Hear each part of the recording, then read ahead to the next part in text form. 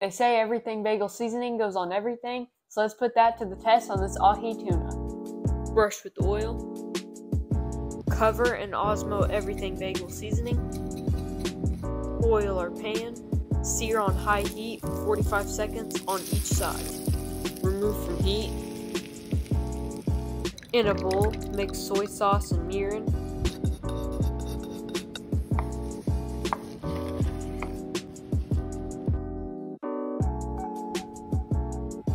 Here's our final product. This is one of my dad's favorite dishes, so I brought him in to taste test.